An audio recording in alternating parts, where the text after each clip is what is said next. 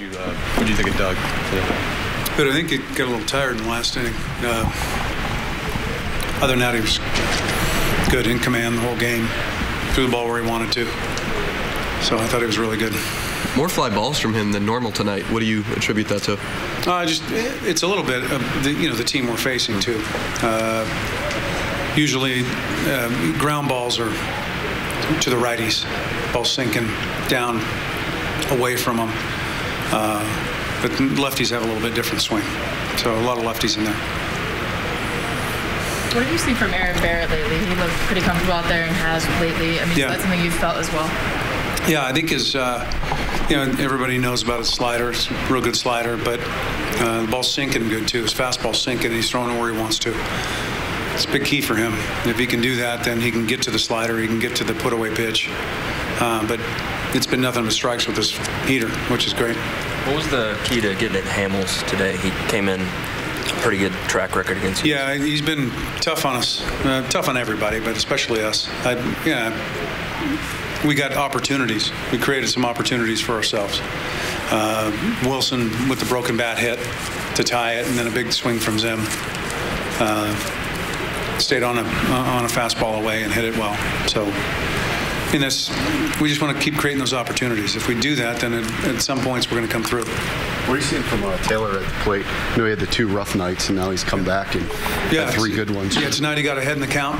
Uh, and got a pitch, probably wasn't a strike, up, up uh, center of the plate. But if he can get ahead in the count and stay off bad pitches, then you know, then he has opportunity for success.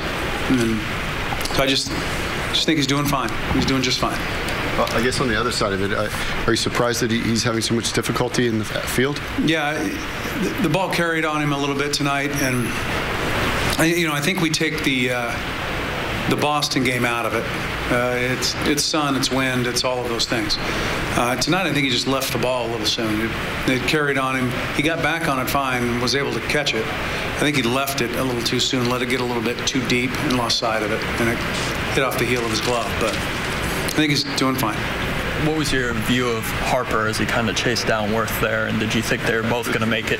Yeah, well, the you know the the idea there is at worst, if the ball's caught, then we're second and third, um, and you know that with no outs, Jason's going back to tag up to make sure he can make it to third, so we can have a run scoring opportunity there. Uh, the first base runner always has a better view of it in in right field than the second base runner because it, it you just can't tell whether he's going to get there or not when you're at second.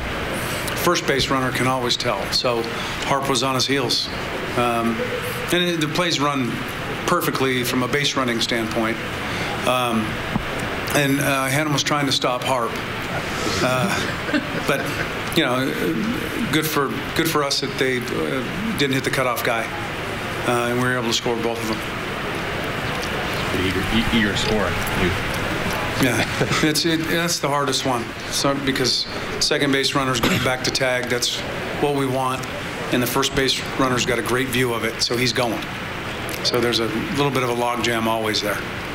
For, for all that's going to happen for you guys, what you know, how, what, what, can you say about what Yunel Escobar has kind of done for you guys? Yeah, all around stability, right? I mean, that's that's what I see. Just stable, puts the ball in play. Uh, you know, he's hitting one and two for us, and you know, take a little bit off of Mike in the in the leadoff role. He stepped in there and done great. Uh, just knows how to play the game. Did you get a report on Span? Uh, yes. Uh, seven innings, um, three for four, two singles and a homer. Um, ran them balls down, feels great afterward. So we'll we'll see how he wakes up and uh, get him back out there tomorrow.